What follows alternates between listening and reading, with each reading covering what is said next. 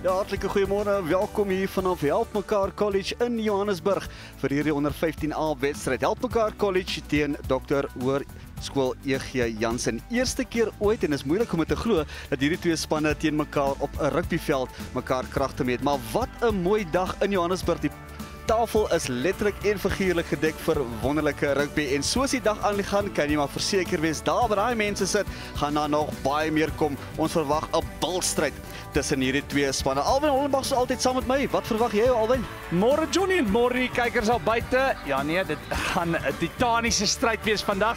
Selfs hierdie onder 15s manne uh, het baie om te bewys as jy sien hulle is almal hoog op in die punteleer van die van die ranglyste En uh ja, soos jy sê, die eerste keer wat hulle te mekaar speel, is moeilik om te glo. Maar uh ja, dit is wel die geval. Ja, dit is net 'n wonderlike rugby. Natuurlik hoërskool EG Jansen word aangevoer met die man daar aan die nommer 2 try Kenan Viljoen. Tristan Lombard, verstaanlik is 'n man om dop te hou na die nommer 9 try en saam met hom Zander Olivier maak hulle 'n baie goeie skakelpaar. Soos altyd agter gaan ons vierwerke verwag van eh, Eben Heyman ook Roan van Aarde en Henrico Herman. Dit is 'n span om vooruit te kry. Laaste paar wyse woorde, maar ja, op mekaar kollege wel. Hulle het 'n punt om te bewys ook hier op hulle tuisveld. En altyd lekker as jy aangespoor en aangevuur word deur die klomp ouers wat vandag hier is. Wonderlik. Ja, as kyk Christian Power wat daar uitkom met uh, met mag en mening. Jy kan sien die spelers is reg vir hierdie wedstryd. Kyk daarso na soos ons gesien het, ons praat van Christian uh, Power wat die kapteinskap oorneem vandag en ook uitkyk vir Reinhard Boshoff wat die haker posisie en dan Gif Olifant. Ek dink sy naam sê alles op linkervleuel en dan die skakelpaar Marie Ferreira en Kian Koetser. Definitief uh, spelers om vooruit te kyk vandag. Ja, Nathan Lens daar in nommer 8 ry ook 'n groot kerel. Dan as jy nommer 9 waarvan ek gepraat het, Marie Ferreira. Ook 'n lekker lewendige skrimskakel. Die skeieregter natuurlik vir hierdie wedstryd vandag is uh, meneer Cello Slaps. Gaan later oor hom gesels, maar dis die manne wat later die vuurwerke moet kom verskaf en veral hier later in die tweede helfte. BJ Breintjies in die nommer 20 trui daar vir Hoërskool EG Jansen is 'n man om dop te hou as hy sy verskyning op die veld gemaak. Dian Mulder sy pa natuurlik die voormalige Springbok.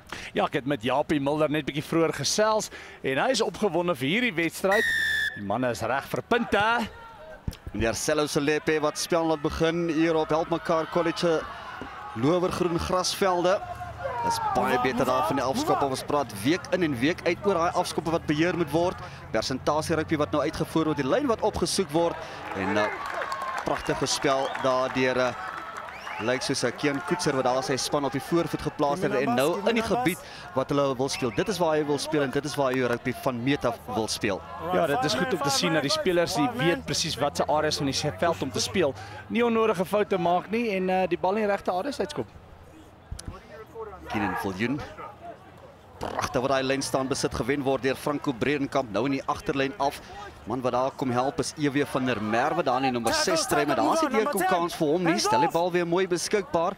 Lombard Hier meer vir Olivier. Olivier, bal wat hy op die voet sit werk hier agter vir die man in die nommer 14 try vandag Keegan Gous. Van sy heel agter probeer homself vir die moeilikheid daardloop. Was dit die regte beslissing? Ja, in die kwartgebied waar hulle nou boer, sal moet hier wegkom baie tyd tot sy beskikking. Onder die bal hier is eh, Lombard gaan in vinnig speel. Dink vir 'n oomblik daaraan. En ons sal sien wat die lyn staan inhou vir uh eh, EG Jansen. Maar daai is 'n goeie skop hierdie losskakel. Ons het sien dat hulle die regte area speel doen en dit is goed om te sien veral van die jong manne. Gewoonlik het hulle net een ding in hulle brein en dit is uh hardloop rugby. Ja, die afratters is ook baie opgewonde oor hierdie wedstryd. Daai lens aan besit wat so iets wat verlore gaan. Skeiestratte wat hulle gaan terugbring. Daar is nie 'n wind om van te praat nie. So dis nie 'n verskoning met die ingooi vandag nie. Right, let's have a scrum. Scrum. Ja nee, geensins geen verskoning wat hulle kan gebruik nie. Nee, weer eens gooi hy die bal agter. Dis een van jou eerste lynstaande, Johnny. So, weet gooi voor en maak seker jy kry jou bal en uh, speel van daar af. I get jou enough. All right, ready boys? Crouch. Set. Eerste vaste skrim van hierdie wedstryd. Kom ons kyk wie gaan die boetoon van metafoor. Weet natuurlik van die reël. Ons praat elke week daaroor, maar net wie om daai geheue te verfris. Die. Ja, jy praat nou van die 1.5 meter wat die skram nie mag vorentoe of agter te beweeg nie, dan moet hulle stop en dan ook so die uh, skram wat nie deur die 45 grade kan draai nie. Dan uh, kry die span wat hom ingooi het weer geleentheid om hom in te voer. don't move. And scrum. Ja, kreefte gang en die skeieregter beslis as gevolg daarvan die eerste strafskop wat behoort aan EG Jansen. Three. Scrumming in. Besluit neem tyd. Die manne gaan die kantlyn opsoek. Hoopelik hierdie keer gaan hulle hulle springers vind. Wow. Daai is 'n goeie skop nie. Hy is sommer so 'n woer woer ene bymekaar gemaak hier deur Jaden Oosthuizen. Ja, dit uh, mag jy nie doen. Ons praat oor daai basiese dinge wat jy van meet af moet reg doen. Nou word daar ver daar word 'n werkie agter gegee vir Eben Heyman. Groot spasie agter, nou moet daar mooi gered word deur Roan van Aarde van Aarde. Maak so jakkals draai uit 'n man hier langs hom. Op die voet waar daai bal gesit word. Weer werk hier agter vir o, oh, oh, groot fout wat daar begaan word op hy bal is Tristan Lombard. Nou wat daar verder gebeur, Lexus Stean Boshoff maak baie mooi vas. Dis op die kwartgebied waar spel nou plaasvind. EG Jansen met die bal in die hand. Trap binne toe.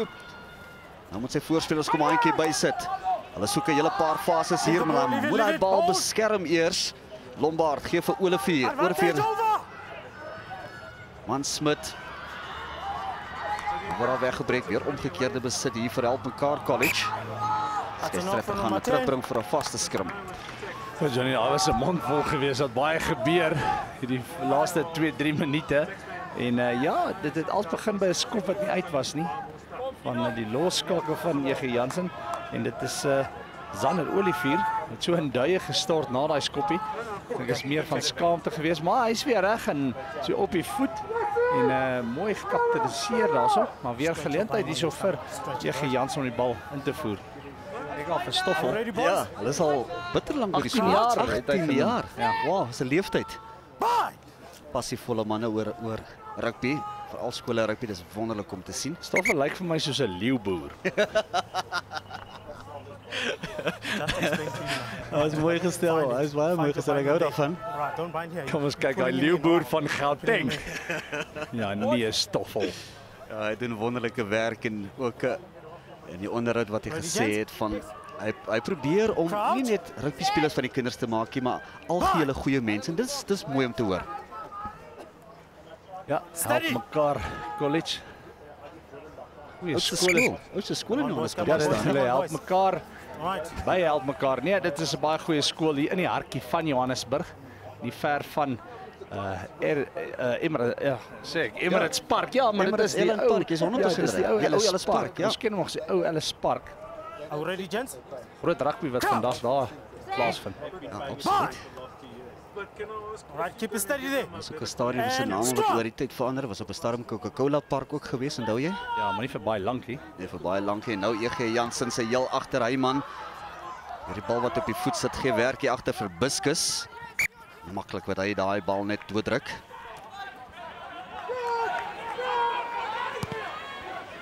Kom weer hier in die gebied by daai skop, weer die werkie agter vir Eyman. Die man hier langs hom. Geldenhuis. Kyk wat die bal opsit gee, werk nou vir Keegan Gous wat die bal laat uitrol. Ja, weer eens 'n baie goeie skoppie die veld. Die skoonveld gesoek en die gras gevind. En uh, dis waarvan ek hou vir op hierdie stadion Johnny voel voel mekaar nog en uh, speel speel so te sê in die regte areas. out. Ja, ons gebruik altyd daai gesegde wat sê dis soos twee boksers wat eers mekaar voel voel. Kyk wie se sterk en swak punte kan uitgebuit word. Ja, en dan later gaan ons die houe sien val. Sal lekker is om te sien. Goeie lynstaan besit wat gewen is deur Grabby. Goeie breekslag daar deur Ryan Kutsie. Out. Sterk Move binne out, senter hier van Help Mekaar College. Stel die bal beskikbaar. Lekker momentum nou vir Help Mekaar College in 'n kassie waar hy bal geplaas word te ver, maar hulle gaan terugkom vir 'n strafskop. Dinner number two on the line.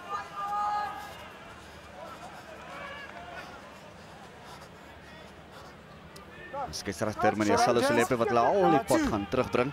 Verstaan, dis ook 'n belangrike wedstryd vir die skeieregter vandag van as gevolg van hierdie wedstryd gaan dit dan uh, bepaal word of hy na 'n hoër vlak toe geskuif gaan word. Ja, hulle doen sy gradering vandag en uh, hulle maak dit wel maklik Johnny sy tweede wedstryd in 'n ry. Ja. Ja, ja, hy het onder 14 wedstryd ook geblaas hier, Ja, die, die mense daar buite wat dink hoekom blaas hy nou al so en dit is nou 7 minute verby. Dit is sy wel sy tweede wedstryd. Maar uh, on daar's baie 15. Baie goeie goed oor hom gesê en um, hulle ag hom baie hoog. Interessant word hom met die bal gehardloop daar deur Christian Paar. Hy's ook die kaptein van hierdie span. Man wat daar oor die losgemaal val, dit kan net so maklik ook 'n strafskop gewees het, maar die skeieregter sê speel voort. 'n Bietjie ongedwonge fout. Hulle boer heel wat agteruit het gepraat van die leeu boer. Nou Mari Ferreira het opsies gee hier vir Keen Koetser. Koetser linkervleuel onder die bal is Herman. Backwards. Enrico Herman daar te loop hy. Hy klop sy maar aan die buitekant. Dis uitstekende werk. Nou die voete, nog steeds Herman en dan uiteindelik trap hy uit. Maar wat 'n loopie daardeur Enrico Herman. Ek hou van die manier hoe Enrico daai manne aangevat het. Hy het eh, 5 meter gehad en so waar is me numbers, wil hy yes, give me buite klop. So dalk Five dalk man net 'n line, bietjie five binne man ingetrap, maar kyk net hierdie goeie goeie loopie van hierdie jong seun. I need number Binne two. I need buite om. number two. Eersteen. Mooi gewys. Ongelukkig die kantlyn wat net wen daar. Ja, dit mag jy nie doen nie. Mag nie wys nie. Kort skoppie. Ek julle kan nou nie vir Stoffel sien nie, maar hy loop so draai hy oor daai een. Zander Verre wat daar kontak maak. Bal wat weggespat is. Skeieregter sê dis 'n losbal. Dis enigiets se bal. Help mekaar wat hele bal by. Han op die bal kan kry nie. Nou word hy weggebreek deur Tristan Lombard. Hy is die skrimskakel. Voorspelers wat pragtig bykom. Nou in die kwartgebied waar spel nou plaasvind, nie een van die beste aangewende nie as uh, Armand Smit daar grond toe gebring word. Opsies aan beide kante vir Lombard. Besluit op daai opsie. O, oh, daai bal wat verlore gaan, weer agteruit wat hulle moet boer, gaan terugkom vir daai ongedwonge foute aanslaan, vaste skrum. So dis asof hulle my net daai bal net by die lyn afstuur. Niemand wat regtig reguit hardloop nie. En as jy kyk daar die gebiedsvoordeel, kyk net daar 81.8% die guns van EG Jansen en hulle besit, het ook die meeste balbesit 58.5%. Nou dit het 'n groot groot invloed op hierdie wedstryd sover. En hulle speel in die regte areas, dit wys vir jou. Maar die belangrike ding van 'n statistiek om by jou aan te sluit is dat hy gebiedsvoordeel moet jy omskep in punte. Dit is eintlik wat jy wil hê en wat jy wil sien. Exit, exit, exit. Ja, dit is van kardinale belang om uh, die regte areas te speel soos ons genoem het, maar ook jy moet punte aanteken. Dis waar die wedstryd gaan. Stay, stay, stay, stay, 'n stay. oomblik aan daai bal, maar dan uh, doen hy uitstekende werk. Baie goeie skop. Sy span wat so bietjie die moeilikheid uit hier is. Lyn staan Alright, wat uh, plaas gaan vind hier binne die gebied Five van EG. Jansen. Five again, five. Daar's 'n baie goeie skop. Ons het nou al gesien hy het 'n geleerde skoen aan hom. Push back. Last say. Viljoen, kaptein van hierdie span met die ingooi in die lyn staan. Weer Oh. pragtige rang deur Bredenkamp. Weer in die agterlyn af Olivier vir Armand Smit. Pragtig wat hy reg het maak. Jy sal daarvan hou. Wat so 'n oomblik vir 'n vat daar deur Zander Maree, maar nog steeds die momentum aan die kant van EG Jansen. 13 Hulle kan nie nou al krye uitruil nie. Dis nog te Oh. vroeg in die wedstryd. Tristan Lombard skop hier vorentoe. Was dit die regte opsie? Keegan Gous. Hy in die heel agter Buskus onder daardie bal. Pragtig gedoen. Is hy heel agter reeds. Vion Buskus. Klein kantjie wat hier benut word weer deur Mari Ferreira, maar daar's nie deurkom kans vir hom nie. Agter word die bal opgetel deur Reina Boshoff wat daar spook. Nou is dit Boshoff, nou weer in die agterlyn af vir Elpekaar. Buite senter Ruben Weideman gee hier vir sy voorspelers grof geskit.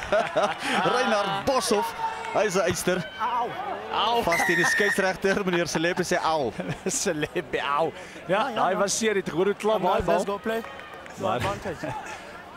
Meneer Celu wat net sê kom ons gaan speel voordeel. Was nie gekry deur help mekaar nie. Four yellow coming from Daar the was 'n paar groot uh duikslae uitgevoer daarso onder 15 uh vlak. Dit is baie groot duikslae wat uitgevoer is Johnny en dit is goed om te sien so vroeg vroeg in die wedstryd. Kyk daar die hakkertjie. Van help mekaar. Reinhard Boshoff. Kyk net hierdie pragtloopie van hom. Oh, maar hy is daar neergegooi. Soms so nonchalant. Koue koue windjie wat hier waai, Johnny. Lekker snerpietjies ja, dit was so lekker warm toe ons vroeër vanoggend hier aangekom het. On. Two men, two men. Dis die gebied waar ons baie min vir help mekaar gesien het. Ek dink dit, dit mag dalk die eerste Jy keer is nee, wees nee, wat 100% dit nee, reg, nee, die nee. eerste keer, ja. Ja, in hierdie gebied kom. Ek oh, hou van hierdie twee. Oh, Oh, oh lyn staan besit wat gewen is hier. Agtertoe sê die skeieregter hulle kan voortspeel. Die man wat daar soms in nonchalant uitgeboender word is Franco Bredenkamp. oh, daai was 'n plettervat om oor te praat.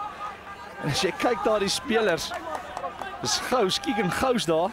En nou ook die agste man, Nathan Lines. Lex, Kom ons kyk net daar. still here making a mark. All right.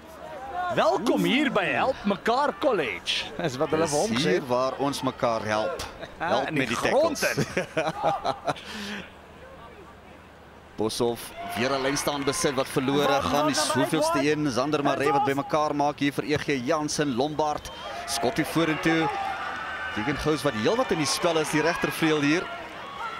Baie min geleenthede wat hy kry. Hier's een van daai maar waar pragtig met enkels beet gekry bal wat lospad help mekaar. Nie 'n goeie aangee maar word reggemaak daar agter. Ai ai ai. Bietjie slordig. White. volgens my die spelers vind a mekaar nog nie, maar die die bekommernis wat vir my nou inkruip hierso is die uh agterste drie van help mekaar wat die balle laat hop en jy kan nie dit doen nie. Dit gee baie geleentheid en baie tyd uh vir vir die uh, opponente wat EG Jansen is om om op 'n goeie lyn te kom en sodra daai bal hop het, uh, is, is jy in die moeilikheid.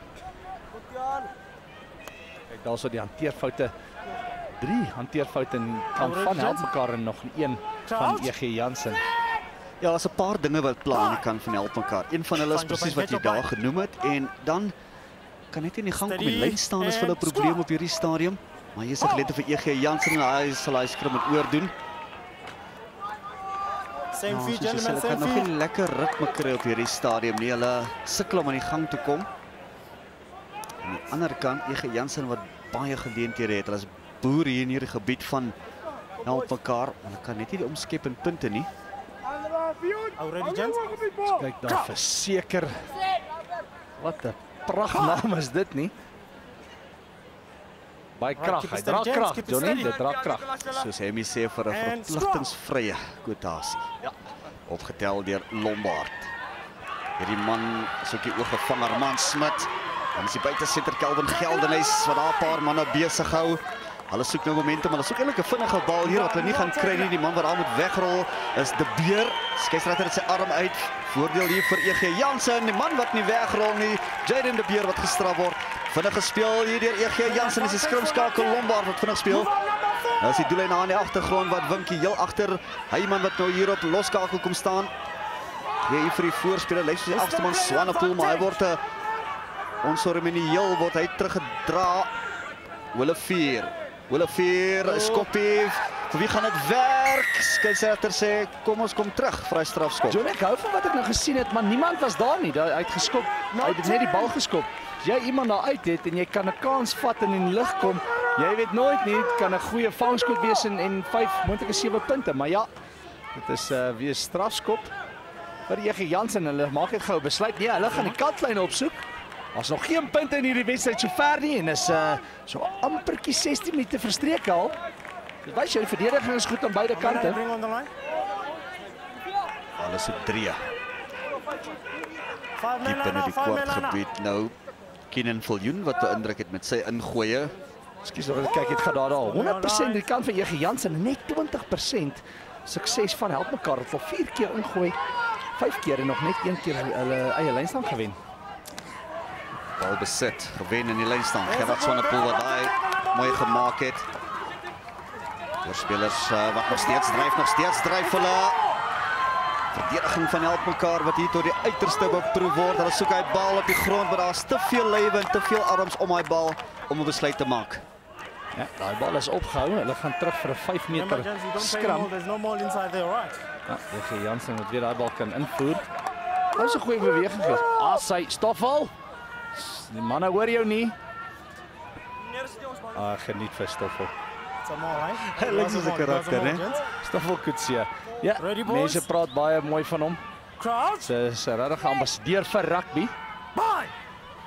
Laat ze kom, Kingen. Nee, sy voet kan nie daar net vir die staan nie. Tristan Lombard wat daar gesels met die skeieregter gee hom so 'n bietjie raad daar Ferreira. Maak hy bal besit moeilik daar in die vaste skrim. Hulle gaan moet terugkom. Ja. Passievol. Lekker om dit te sien. Ah nee, kyk. Hierdie afrigters is passievol, Johnny. Ek hou daarvan. sien weer geleentheid vir EG Jansen. Ready, gents? Jy kan nie glo al 17 en 'n half minute verstreek en nog geen telling op die tellbord nie. Ek sê vir dit is uh, ek ek- keep wanneer laas het ons dit gesien? Mm, bitter lank klas. Gentlemen, now you, Skei oh, let me come fix the side. So hier's ietsie lekker nie. En dan na die vaskop kant toe Alright, van gentlemen. Jansen. I don't want any nigglings anymore, right? Stops now, all right. Nou sê dis 'n amptelike waarskuwing daar as ek dit nie mis het nie. Dit stop net hier. Ready? Crouch! Bye!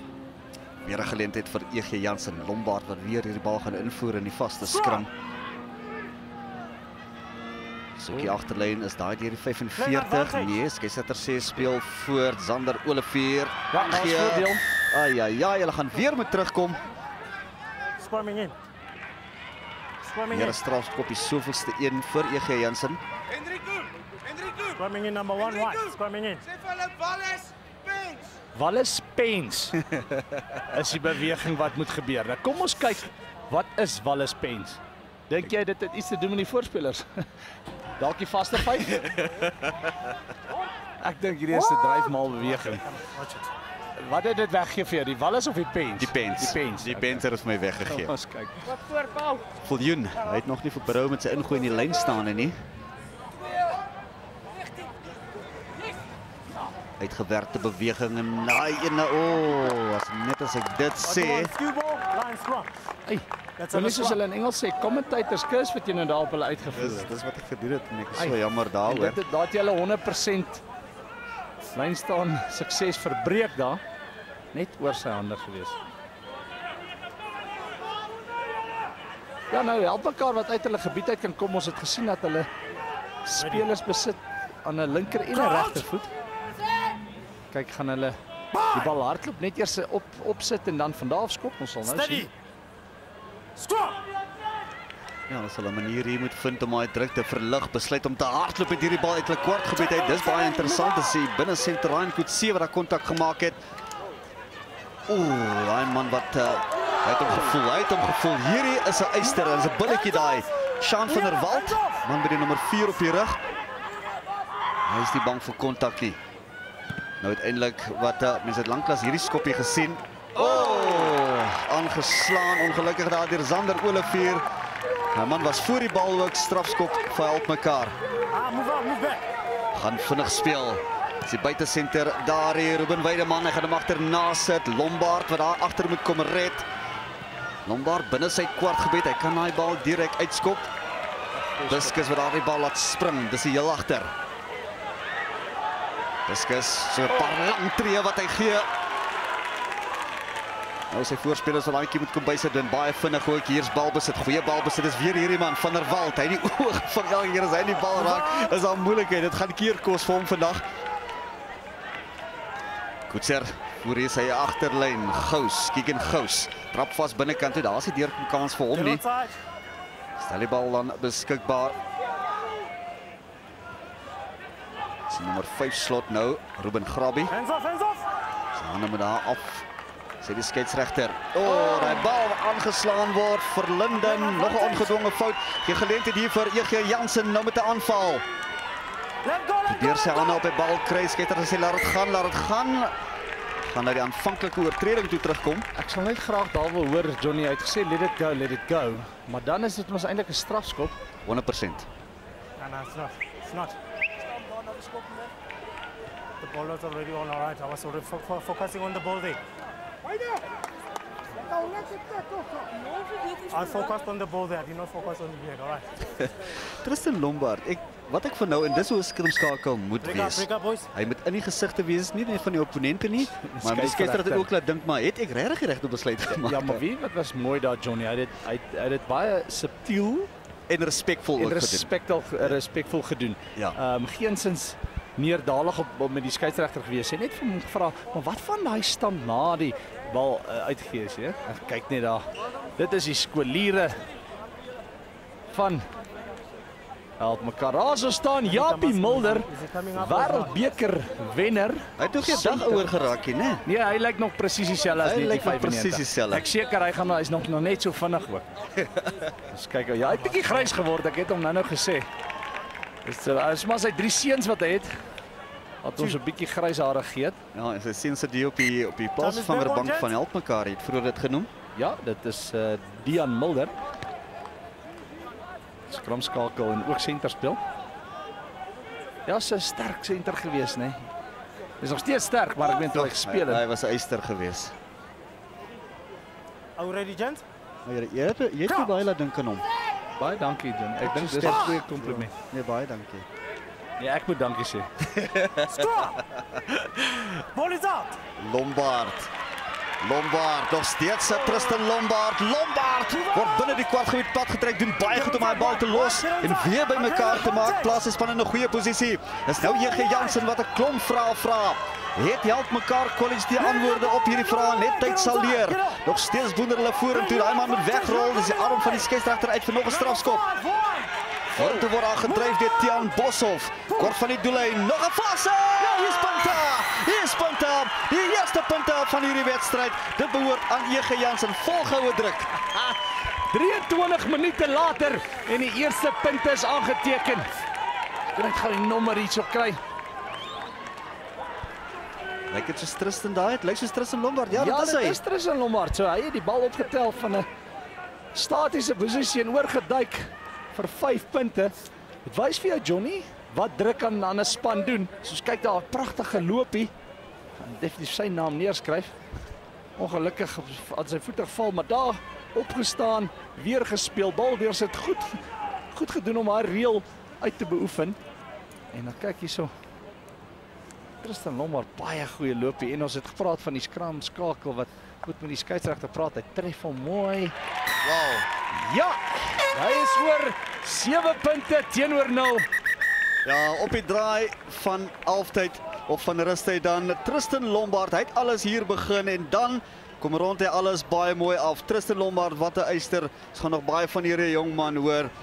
Maar die eerste punte van hierdie kragmeting kom eers laat hier in die eerste helfte en is EG Jansen wat voorloop met daai 7 punte teenoor 0 na volgehoue druk. Daar wag 'n interessant en 'n baie opwindende tweede helfte op ons. So moenie te ver gaan nie. Net hierna is daar nog wonderlike rugby wat gespeel gaan word. Maar kom ons sluit eers aan by Rika Nieuwoud.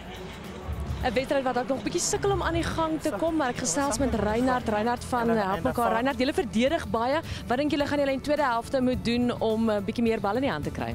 Ons moet beter verdedig en ons moet meer die bal probeer steel want ons staan die hele tyd buite. En dan drill ons die hele tyd en dan speel ons by dan staan niemand op die punt en so ons moet fokus daarop. Reinhard, baie sterkte en eh, meld jouself daar by die span aan en sterkte vir die tweede helfte. Wel op 'n stadium is dit EG Jansen wat al die rugby speel op die veld. Ons kyk of help mekaar net na die breek kan terugkom en saam speel. Ja, baie welkom terug. Die tweede helfte behoort 'n baie opwindende een te wees en daar's ou Choppy lekker om vir hom ook hier te sien. Hy bring altyd die lekker gees na die veld toe. Ja, alles om voor te speel Alwin, 7 punte teenoor 0. Ja, daar's nog baie baie wat hierdie wedstryd moet gebeur. Ek het ook vir Stoffel Kutse hoor sê, "Wees bang manne, wees bang dan kom jy nou af." So ek dink help mekaar gaan nou kom met alles wat hulle het. Goeie afskop deur Kian Koetser. Ons het uh, in ons geselsprogram daaroor gesels en dis presies wat nou gebeur. Nou word daar riem neer gelê deur Power, hy is die kaptein. O, oh, net daai ongedwonge fout. Hier was 'n geleentheid vir help mekaar en hulle kon net nie daai ene benut nie. Soos Power wat daar net so buite beeld wat hy seer gekry het. Ag, jy kan sien daai manne het uitgekom met vaart. Ongelukkig kon hulle net nie aan daai bal vasklou nie, Johnny. Soos kyk vir Stoffel. Daai man se hande is al hierso op sy gesig. Hy kan nie glo wat hy sien nie. Hy sê ek het mos nou vir hulle gesê. Hy het gesê hy het gevoelig gevra wie's bang. Wie's bang? As jy bang is, kom jy nou kom jy af. nou af, nie later nie, nou. Nee, nou. Of ek gaan jou afhaal. Ja, daar's hard gesels met die manne hier tydens rustyd aan beide kante. Veral aan die kant van Help Lady mekaar College. Skram. Soek 'n groot skrim sê die afrigters. Marie Ferreira. Hy gaan die bal voer in hierdie skrim. Gebruik hy klein binnekant Marie Ferreira. Daar's die deurkom kans vir hom nie. Probeer dieselfde doen as wat Tristan Lombard vroeër gedoen het. Nou hier agter lyk dit so Renard Bos wat daardie bal gaan uithaal. Weer Power die kaptein. Hy lei nou met voorbeeld. Daar's steeds Power. Weg met daai bene. Opsies aan beide kante. Besluit op daai ene word nou pragtig binnekant. Dis 'n pragtige lyn wat gehard te word hier tot binne die kwartgebied waar spel nou vorder. Soek 'n vinnige bal presies wat help mekaar nou kry. Koetser gee weer hier vir Power. Power, hy lei nou met voorbeeld hier die kaptein. As Koetser hom weer kry, gee vir sy buitesenter nou dan na die heel agter linkervleuel. Die is Gift Olifant. Tackle, tackle, move on. Olifant wat daar grond toe gebring word. Man wat daar nonchalant afgestamp word. Dis ook voordeel hier vir help mekaar. Strafskop voordeel. Let him go, let him go, let him go. Gaan tackle. sê die skeieregter man wat aan die verkeerde kant hier lê, maar hy laat spel voortgaan. Koetser met daai lang aangee. Nou weer Power uit 'n paar goeie lopies, maar as dit elke stapie net te ver vir hom. Nou die vaskopstitte, hulle het harde werk wat hulle moet doen. Pragtige loopie weer hier. Dis Ruben Weideman. Gift Olifant, dis Gift Olifant. Gift Olifant 'n geskenk gee vir sy span nie. Net voor die doel wat hy pad getrek word. Dis die doellyn aan die agtergrond wat Winkie vir mekaar koers reg wat daar gemaak word. As hy deurkom kans nie, wil sy hande daar op die bal kry, gaan dit nie doen nie. Hy is 'n geleentheid, Mari Ferreira wat daar die bal gaan uitgrawe. En die agterlyn al weer word daar reguit gemaak. As hy deurkom kans nie, goeie verdediging deur EG Jansen. Rigtingverandering hier, so byna word daar oorgeduik. Daar's nog steeds help mekaar college hier. Vra hier 'n paar uitstekende vrae. Daar's 'n man oor aan die oorkant. Hy word nie gebruik nie. Weer binnekant toe word daar gespeel. En as help mekaar college wat daar gaan oorduik. Skeieregter, as hy daar Jog, nee. Hy is opgehou. Johnny, hy is my uit asem. Maar wat 'n loopie was hierdie nie van hierdie manne. Dit wys jou. Stoffel het hard gepraat. Hierdie man het geluister, maar eeg gift. Gift, ja, ja. gift, gift. amper gaan kuier gift Willem, amper gaan kuier by agter die uh, doellyn. Kyk gou daar's 'n man. Wat daar neersit 'n bietjie neus wat dalk bloei. Hoe mooi loopie was daai nie. Ek het gedink hy is hy gaan definitief oorduik vir sy No, 3. I, saw what happened. Both of them, they won with the clash, clash of the heads, yeah? Yeah, it's, it's not a foul play, yeah? Nee, I baie goeie posisionering deur hierdie skeieregter. Selo Slepe, skus film with tog. Baie mooi gedoen daar. Maar in beeld daar is Keegan Gous, hy's die regtervleuel. Het 'n paar mooi lopies gehad in die eerste helfte. Hy was ook besig hou in die eerste Jy helfte. praat van 'n paar lopies. Christian Bauer, wat 'n paar lopies daai nie hierdie laaste 2-3 minute gehad nie. Hy lei met voorbeeld soos jy gesê het. Maar die man wat daar so 'n bietjie eina het. Safety go out. Safety. Sessetter sê daar No, you're vir Shan you're van der. Walt gaan maar eerder af. Nee, is ja, safety. Safety boys, safety boys. Ja, skei sê vir veiligheid. dan. Ons gaan nie speel met hierdie kinders se gesondheid nie. Nou, van der Walt hy is misnoo wat hy te kenne gee en sy plek is nou Zander Linde wat op die veld verskyn. Ook die afrigter weet nie eintlik waaroor dit gaan nie. Ja, Stoffel is nie baie gelukkig nie. Ons kyk. Ja, die die vraag wat 'n mens daar eintlik moet vra, was was daar arms gebruik? Ja, jy's reg, daar was geen sins arms gebruik nie. Dit is baie jammer om dit te sien. En die skeieregter was in posisie gewees. Maar hy lyk nie lekker nie en dit is goed. Dit is baie beter dat die man afkom van die veld af met sy veiligheid. Keep it steady. Ons sal um, Scrub. Hold it. terugvoering gee daar, hoor. Geleentheid hier vir help Popping mekaar. up, popping up, popping up. Ja, opgaan gaan alles moet oordoen. Nathan Lyns het gedink hy's daar weg die uh, 'n agste man. sien ook daar vir Mekaar Fanie nie, Labuskaghni dis 'n die nommer gap. 20 tref vir help mekaar op die veld. Hy is in die plek van Gerard Verlinden. Ons sê waarvan ons praat, daai man in beeld, Fanie Labuskaghni. Die tydens rustyd was daar ook 'n plaasvervanger aan die kant van die help mekaar college. Hy was die man. Wat 'n posisie om in te wees as jy die aanvallende span is. Steady. Scrub. Steady scrum. Skeieregter sê speel voort. Nou sit Lyns wat optel. Lyns. Nog steeds Lyns die agste man. As hy deurkom kans vir hom nie. Soek 'n vinnige bal. Dis. Dis manne oor. Dis manne oor aan die oorkant. Oh, daai bal wat in die hande toe gaan nie. En Keegan Gous wat daar moet kom regmaak. En daar's so byna 'n geleentheid daar. daarmee heen vir help mekaar, maar hulle is nog steeds met die bal in die hand. Dis Nathan Lyns, Lyns, dis Lyns. Dis Lyns met sy krag wat oordyk. Luisdijk oor vir sy 3. Dit is die eerste ene vir Help Mekaar College. Kan dit 7-11 wees? Ons sal net moet wag en sien. Hy steek 'n loopie deur hierdie sterk speler. En uh, ons het al gesien dat hy baie hierdie bal optel van die scrums af. En daar het hy baie goed gedoen. 'n Stekende loopie jong man.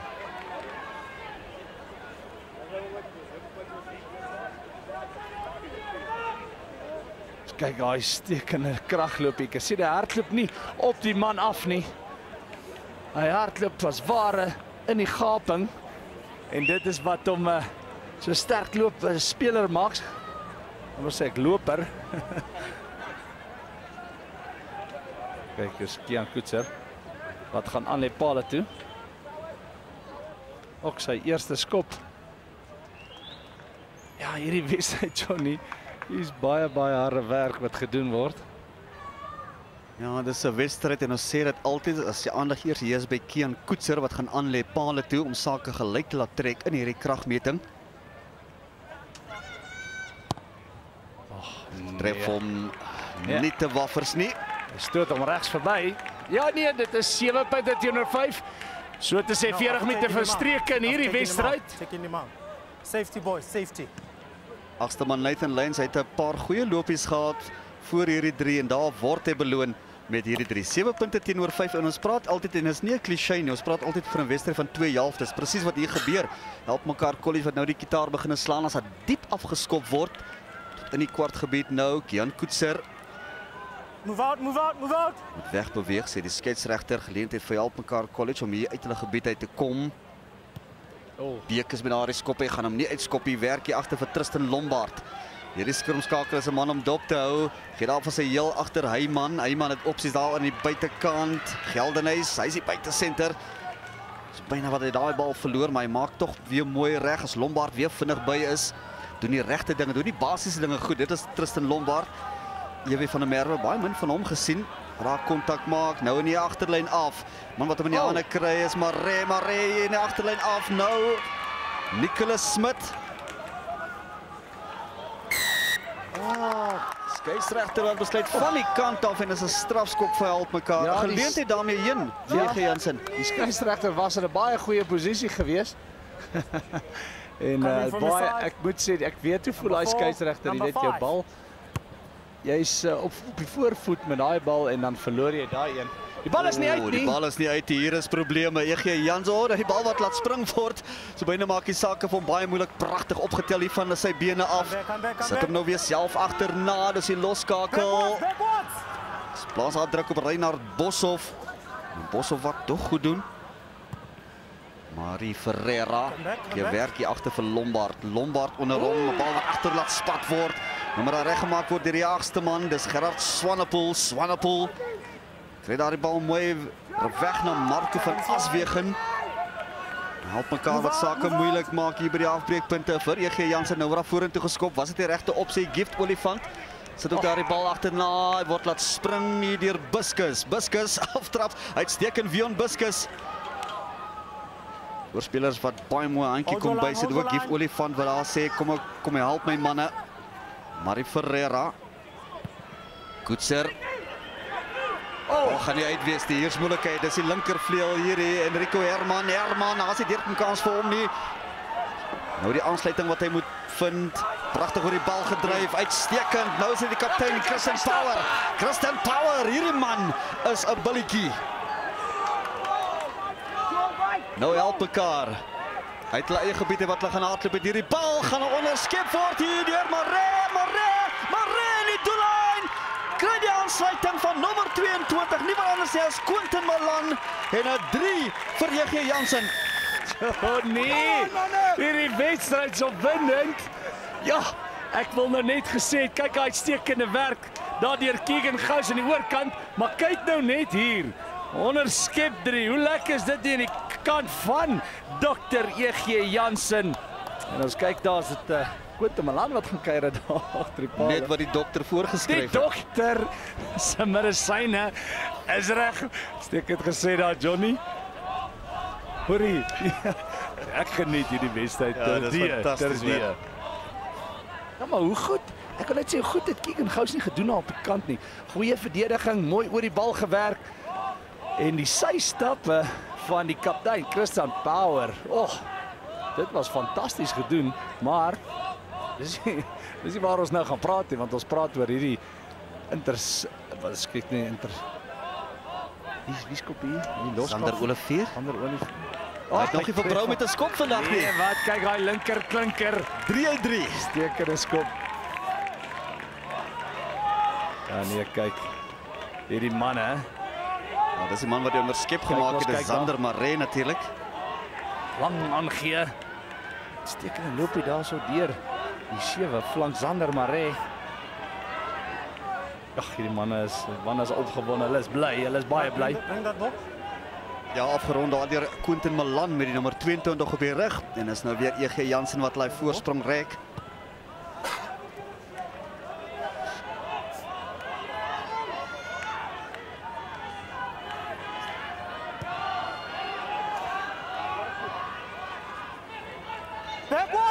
Agtertoe sê die skeieregter, Line out. Ja, en hier is so iets wat 5 na 6 minute oor in hierdie wedstryd Johnny. Jy hoor die skade wat al aan die gang kom en dit is nog net numbers. hier onder 15 Five man, wedstryd. five man. Ek sien uit wat voor lê. luister hier hier Ja, gaan vandag wonderlike rugby gespeel word op hierdie velde. Dit kan ek jou verseker. Ja nee, jy kan dit weer sê. Ek sien uit na die onder 16 wedstryd net hierna. Dit gaan ook 'n groot wees as een man in daai span wat ons gaan moet dop. Ons gaan later oor hom gesels as EG Jansen hierdie bal kry in die lyn staan wat slordig, maar hy hom tog in die hande net buite die kwartgebied nou. Sal graag so vinnig as moontlik hier wil wegkom. Olivier sit die bal op die voet gewerk hier agter vir Keegan Gous. Gous regtervleuel staan daar 'n man af nog steeds Keegan Gous. Kyk dit daai aangee. Pragtig hier deur elk mekaar en dan is dit die kantlyn wat wen. Stoffel. Wat gaan hier aan? Ja nee, baie goeie werk. Five man, line out, five man. Goed gedoen om terug te werk daar. Ja, maar dis iets wat baie pla vandag help vir help mekaar as hy ingooi in die lyn staan en glad nie wat wonders nie gee of staan balbesit eerder aan EG Jansen af. Lombard wat vaskop teen een van die manne power wat al wegkom maar die skeieregter gaan dit terugbring. Hierdie man as ons mos 'n man van die wedstryd gekies het, eh, was hy al lankal man van die wedstryd. Ja, power. Ek sê nie in Engels power krag nie, maar sy van. Ja. Ja, sy van word gespel P A I E R en nie P O W E R, maar jy kon net so maklik dit ook gespel het soos Ek dink daai. ons gaan hom verander na hierdie wedstryd. Ons verander homself. Verander hom is power, krag. Are you ready? Crowd. Dink hy gaan volgende week vir die afrigter from center te gaan speel. steady. Wel, hy het die voetwerk daarvoor. Steady boys, steady boys. I'm not gonna call the scrum if you're not steady. Kyk sou wel so 'n wedstryd so ver beleef. Kommunikeer baie goed met die seuns. Hierdie mannetjie moet ons iemand dophou, dis Tristan Lombard. Werk hier agter vir Jacques Skols wat op die veld verskyn het. Scrumming in. Nie genoegsame voordeel nie. Skeieregter gaan hulle almal terugbring. En daar word Christian Power toe nou gestraf. Hy wat inskram. Scrumming in. Ja, nee nou, uh, dis bietjie ver vir die jong manne, so ek dink hulle gaan nou net 'n goeie skoppie moet hê om hom maar probeer in die 22 meter uit te jag. Eben Heyman heel agter. Maak seker daai bal is net uit. Ah, is nie 'n baie goeie skop nie, maar groot die belangrike ding is eh, die die die skop is uit. Dis kyk kaptein. Wilwater speler. Ja, Christian Power. Five men. Five men line. Five men Ons line. gaan nog baie van hom sien in die toekoms. Right, gentlemen, that's fine. Kan maar daai naam neerskryf. Don't worry. Don't worry. There's the scrumming. Keenan Viljoen. Balbesit wat gewen word in die lyn staan Olivier nou na Smit Oh. of sy buite senter hierdie Kelvin Geldenhuys wat daar grond toe gebring word. Pragtig reguit gemaak. Weer Lombard uit na Olivier. Olivier skop hier word agterna gesit hier deur van der Berg onder andere. En dan kry men die ander, dit is Quentin Milan en so byna byna is daar moeilikheid hier vir help mekaar. Ja, daai bal wat gelaat val word. Ons het daar gepraat, Johnny. Belangrik dat bal in die me gevat moet word. Hy kan nie op give me nie. Kyk die lyn staan. Ja, No, hier daai don't skoppie. This is my mark. I'm making my, I'm Speler making my mark. Push up, balbemeester hey. nie. Push up, push up, push up. Oh, Push up. Gift Olifant wat daar fouteer het, hoor. Hy moes daai bal gevat het en vroeër ook gevat het. Kom ons kyk dit gaan daar aan die lyn staan. Kyk net na 80% die kuns. Dis probleme. Hands off, hands off, release. Ball is up, gents. Jammer om jou woord daar te breek, maar ek dink daai loopie was belangriker as hy statistiek op hy stadium. Ja, statistieke moes verdwyn na daai loopie. Ja, ons kyk net gou weer na lynstand as statistieke. 80% vir EG Jansen, net 25 lynstand sukses persent vir uh, help mekaar en dit is nie goed genoeg nie. Ag, kanse gehad om die bal in te gooi net twee gewen Johnny. Dis kommerwekkend en dit is 'n platform wat daar is en jy moet dit gebruik om enigsins kanse staan in hierdie wedstryd om op die voorvoet te kom. Bye. All right, gentlemen.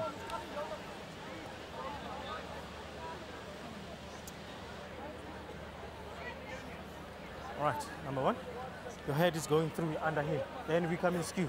Push it out a little bit more. All right. All right. It's the last warning now. Ja, weer eens pragtig gekommunikeer deur meneer Solepe. gents?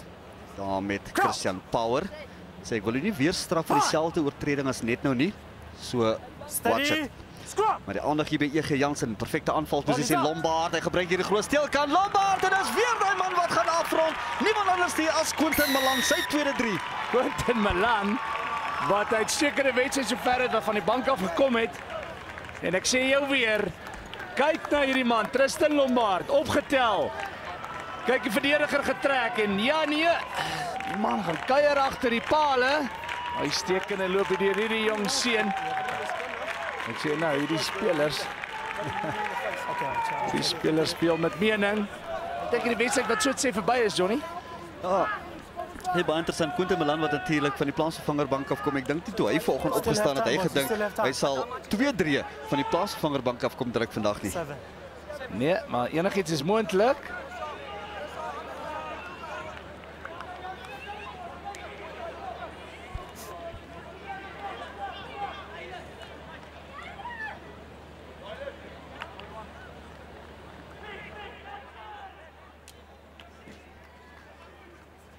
Maak met hierdie een? Hy tref hom weer goed. Hy gaan ongelukkig nie daar wees nie. Maar dis 'n opdraande stryd nou hier vir help mekaar met 19 punte teenoor 5, maar kyk net weer na hierdie 3. Kyk net die goeie werk wat Tristan Lombard hierso doen. Speler wat gly, maar ongelukkig vir hulle, maar ja nee. JG Jansen baie goed doen daar. Gebruik hulle geleenthede. Kutser so verrassingsafskop. Onder die bal hier lyk soos EW van der Merwe daai bal wat gelaat val word ongelukkig. Leave it, ball, leave it, leave it, leave it, boys. Come on. Ja, dis 'n man wat verteer het daar, lyk soos Zander Maree. Ja, Zander Maree wat Ma Maree wat nie baie bly is the oor hy laps wat hy begaan het, nee. Maar ja, die uh, 19-5 in die guns van help mekaar. Baie goeie wedstryd sover van die manne van die panne, soos jy altyd sê. Jy weet Are we ready, gents? kyk hom. Crowd. Bye. Steady. Kyk hom. Scrub. Geleentheid hier vir help mekaar. Marie Ferreira voer die Hold bal it, in die hold vaste it. skrum. Skeisetter sê nee, Shift it, Jan. ja, moet alles weer Same oorgedoen feeding, same word. feeding.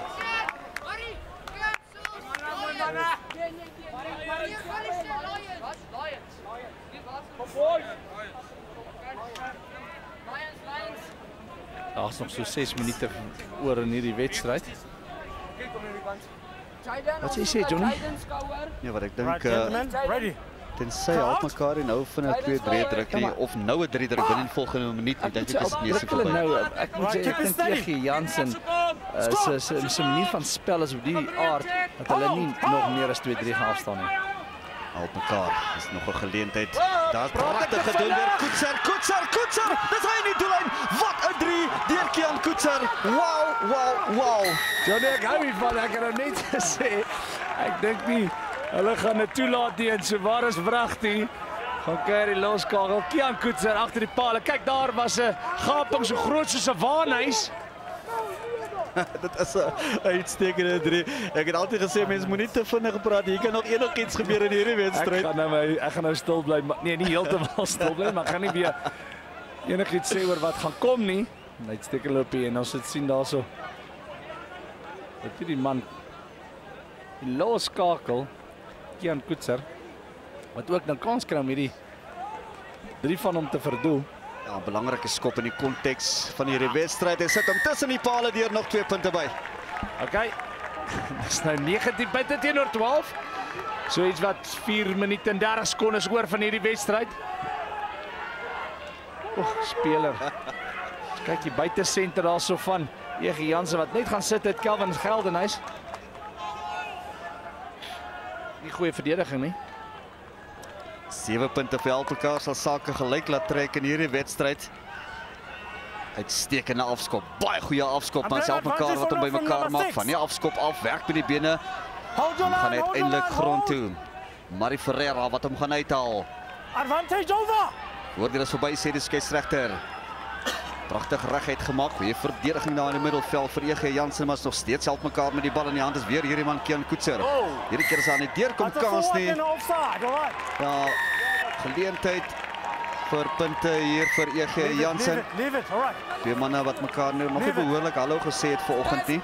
Speler wat sê meneer maar my eerste gestoot, my kan nie terugstoot nie. Forward pass and you play on the offside Die reël position, sê right. dit. Skeieregter sê bal wat voor dit aangee, maar hy was in 'n onkant posisie gewees. Kelvin, Kelvin, Kelvin. Sit by dat normal nations 8. Normal nations 8. Normal Nations 8, dis seker weer 'n lynstaanbeweging. Afrigter van Dr. EG Jansen, net so 'n passievolle man. Ja, maar dis baie goed. eh, Ek moet sê die spelers wat die regte besluit neem daarso Johnny. Daar's nie baie, daar's so 3 minute oor die wedstryd. As jy nou oorskop, ons die skop dalk mis. Six men, en six men, eh, six on the mekaar line, kom weer six on met 'n the line. teenaanval en hulle druk jy Six on the 3. line, Is jy six gelyk, maar nou moet jy die bal Six, probeer man in, behou. man man En dalk geleentheid uh, vir 5 go. of Get back, 7 get minute, back, 7 get punte. Viljoen. Give him time. Tyd Thank van you. hierdie span by die ingooi. Kortlyn staan wat geroep is. Word gerang pragtig daar die Franco Bredenkamp. Klein goed. blinde kan wat gebruik word. Die krag, daar's die neerkom kans, die goeie verdediging deur Boshoff. Nou moet hy wegrol wat hy baie goed doen. Lombard wat hom optel. Hou jy onder die grof geskit, pragtig reguit gemaak. Kan laat aan op die bal daar kry moet los. Hulle moet daai bal los en die skeieter wat hulle nee doen die strafskop vir EG Jansen. Gaan vinnig speel Lombard. Lombard, Lombard, Lombard. As hy daar oor so byna byna. Tackle, tackle, gentlemen, Hierdie. Lombard is 'n man om dop te hou. Pragtig hier kom punte. Dit lyk so Zander Ja, ja, Maree wat ja, daar boys, oorgeduik ja, het vir 'n boys. 3. Ah, Leave it, leave it, it's try. Ja, daar sê Zander Maree. En dis meesie verby hier vir help mekaar. Nou kan ek sê ek dink nie meer help mekaar gaan terugkom hier nie. Ons kyk hier's die afrigters wat uh, baie jolig is en Zander Maree wat is dit 5 na 6 minute terug 'n blaps gemaak het en hier maak hy reg vir dit. Maar ja, jy het hierdie man genoem, hierdie uh, woelige skrifskakel Tristan Lombard wat weer als begin het en net 'n nonchalante oorduik daardeur. Remember the T, you, you've already got the T. Your Water. 20 seconds is already overlapped. Sewe flank Maree Zander. Zander Maree, ekskuus tog.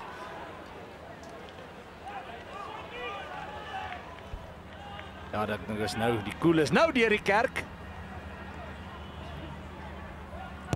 Tref hom weer goed. Die Vla wat hom hoog skiet nog twee punte by. Sy skoppe na die palle albei net ek vandag beïndruk hierdie man Zander Olivier. Ja, soos is daai linker klinker. O. Johnny. Johnny. Wag so 'n bietjie, maak hy Uitsa, klaar. uitsa. Ooh. Hm, maar nou ja. Kom ons gaan aan. Hier kom jy afskop. Kom ons gaan aan. Niks wat daan kan doen nie. Keen Koetser hierdie keer ook met 'n pragtige afskop. Dis wat jy wil hê vir jou voorspelers om daarby uit te kom by mekaar gemaak deur 13. Ferreira. Goeie balbesit hier vir help mekaar word opgetel daardeur Ryan Koetsie. Gift Olifant baie min geleenthede vir hom vandag gehad. Maak mooi tackle. reguit Olifant. Ferreira weer vinnig by. Advantage over. Oordeel is verby sê die skeieregter. Nommer 6 is Jaden de Beer. Goeie loop hold. deur De Beer net buite die kwartgebied. Marie Ferreira wat weer optel. Koetser lang aangee. Power, Power gee daar die bal pragtig weg na sy agste man Nathan Lyns. Lyns kry daar die bal weg. En die ander daar van Reinhard Boshoff. Kort van die doellyn waar spel nou plaasvind. En self mekaar College. Soek nog 'n 3. Hulle soek nog 'n 3. Mooi reguit gemaak daardeur Ruben off. Dis die einde van hierdie wedstryd. Balbesit afgestaan hier aan EG Jansen. Al wat hulle nou moet doen is net om hierdie bal uit te skop en hulle gaan hierdie wedstryd wen. En daai bal wat uit gaan wees, lyk dit nee, dit is nie uit nie. Is daar nog 'n 3? Kan jy dit hoor vertel hier teen die einde? Ek het vir al die geld in die wêreld gedink daai bal is uit.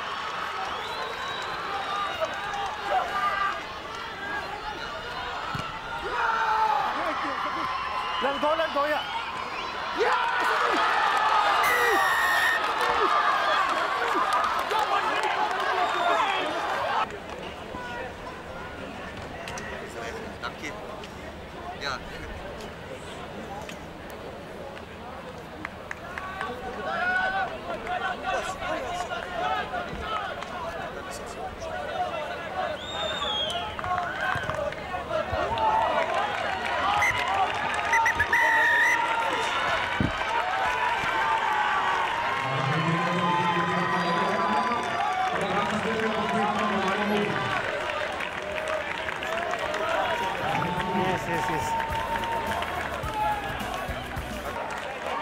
spelers wat mekaar groet, dit gaan die einde van hierdie wedstryd wees. 'n Lekker opwindende kragmeting. Help mekaar College wat net julle geleenthede gebruik het in hierdie wedstryd. Die EG Jansen met 'n paar sagte drie om dit so te noem.